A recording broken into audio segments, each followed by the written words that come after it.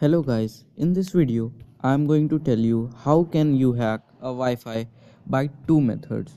Guys, if you think hacking Wi-Fi is not easy then you should watch this video till the end so that you don't miss a single step. So let's get started. Guys, our first method is non-root method. For this met method you will need a WPS WPA tester. So let's download it.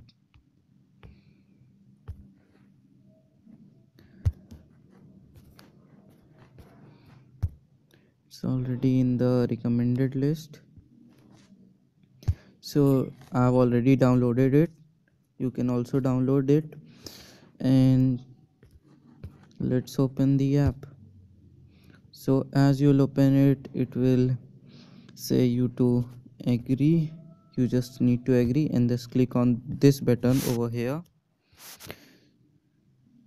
Scanning the Wi-Fi. It will take a little two minutes. So let's see the saved networks. You can see guys there are five wi-fi um six wi-fi's and three it worked on three of them. So you can see the network and the password. You can see here on three networks there was no password and on the three there was wps and wpa enabled. So this app crack that password and and let us know that. So you can just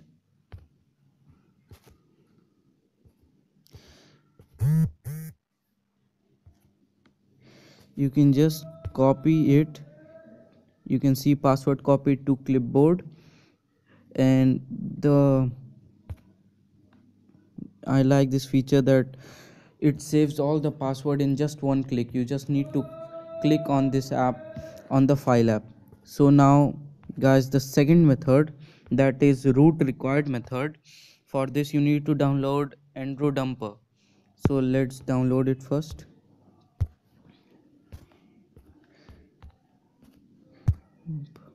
So i've already downloaded it. You can also download it and you can see here root not totally required.